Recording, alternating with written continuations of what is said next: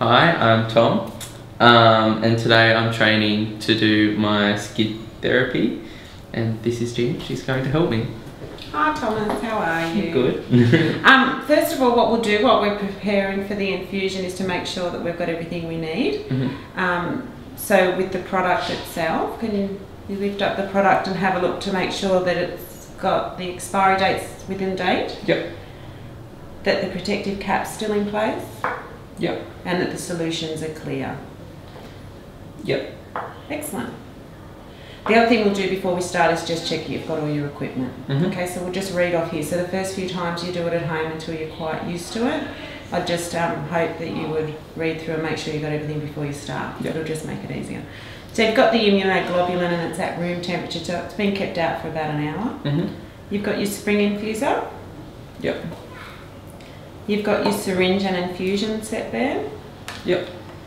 You've got your needle to draw up with, the 19 gauge. Yep. You've got your Neria needles. Today we're using the bifurcated one. Mhm. And a Sharps container, which you'll have at home. Yep. And the alcohol wipes. Yep. And your treatment diary. Right here. Beautiful. Now we can get started.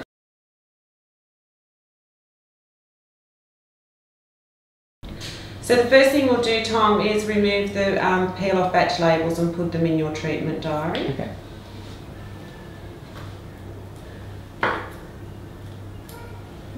Here. Yeah, that's great. Just put them underneath each other's fine. And then we'll just correlate it that that you've had the two at once.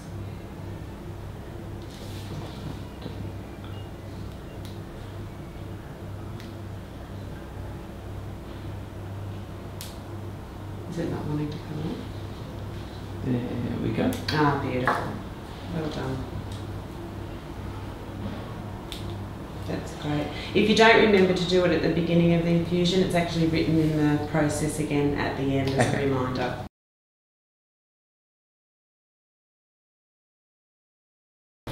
Okay, Thomas, so just time to wash and dry your hands before we start. Yep. Thank you.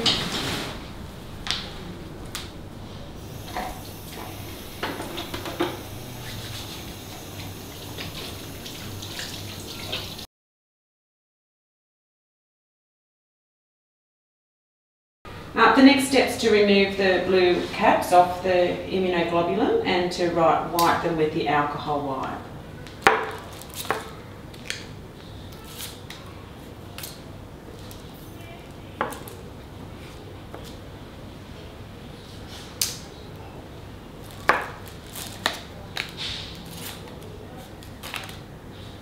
Well done. Thanks, Tom.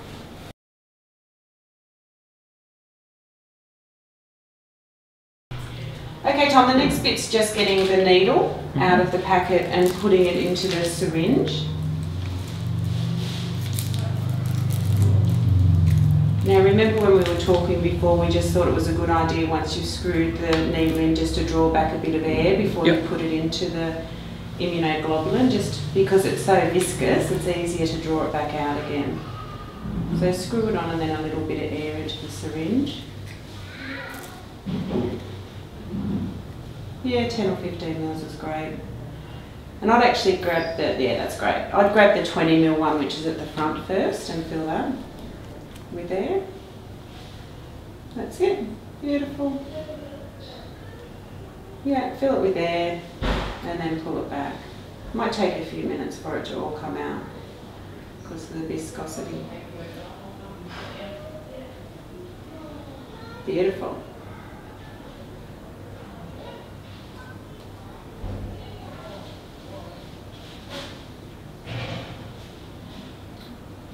And just pull the, the needle down a little bit. Once that's the way. Beautiful.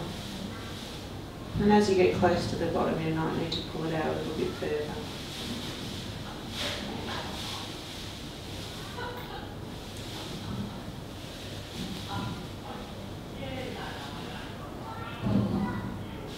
Very good. Does that look like it's 20 mils in the... Yep. Yep, beautiful. So you can take that one off. And then you can grab the other syringe. We don't need a new needle for that because it hasn't touched anything. You're right, no, just one? keep hold of it, yep. Just put it back in. So there's 30 mils in total in this one.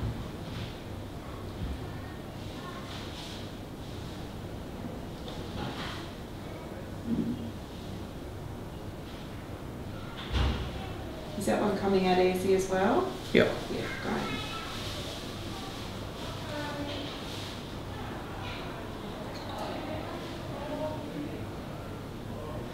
Expert.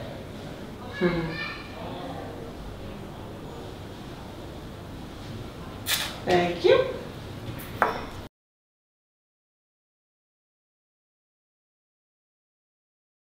Okay, now what we need to do is just join the Neria needle to the giving set. Mhm.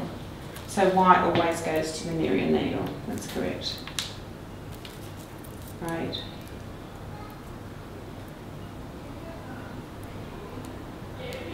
Excellent, and then we can join the blue cap end to the syringe.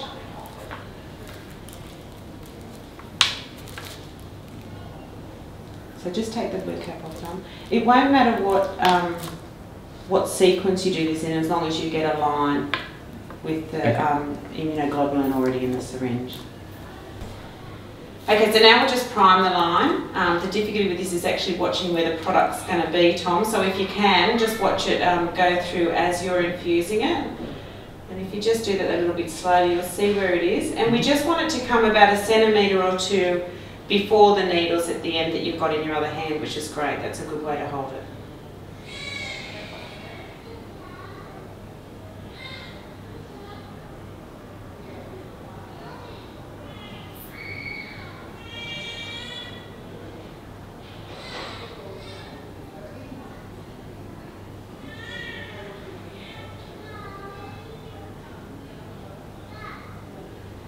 That's good. You can see where it is. Yep. Well done.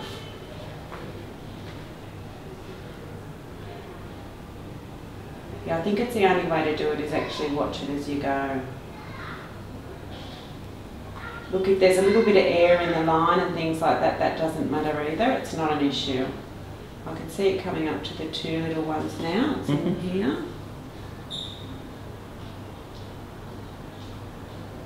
So anywhere up to where your fingers Yep. are is great.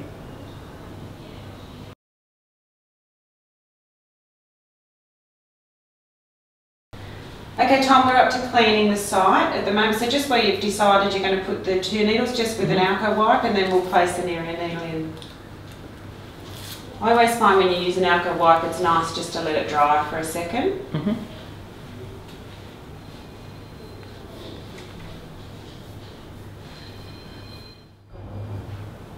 Pinch an inch, 90 degrees.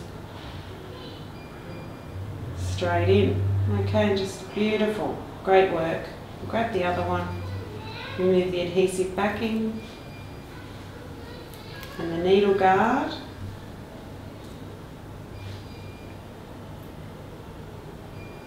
Grabbing another inch if you can, pinch an inch.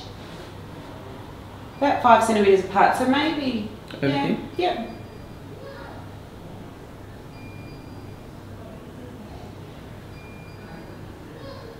Beautiful. Excellent.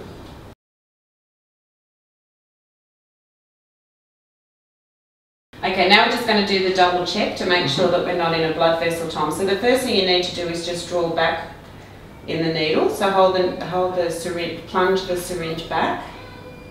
Yep. Okay, and then we'll disconnect at the needle and I'll count to 10. Sorry, disconnected the syringe, that would be. And just hold it up so you don't lose any, turn it up so you don't lose any product. Okay, now I'll count to 10. 1, 2, 3, 4, 5, 6, 7, 8, 9, 10. And I'll just make sure there's no blood at either side. Nope. Okay, so we're not in a blood vessel, so now it's time to reconnect and then put into the Springfusor pump.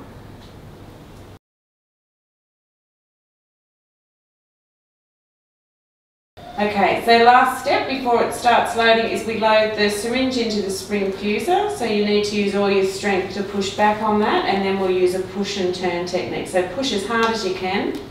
If you can't do it all, you might want to push from that right? at the top Mm-hmm. push all the way down and then turn when you get it below. Turn, no, push, keep pushing. That's in turn. Beautiful. We're going. Well done.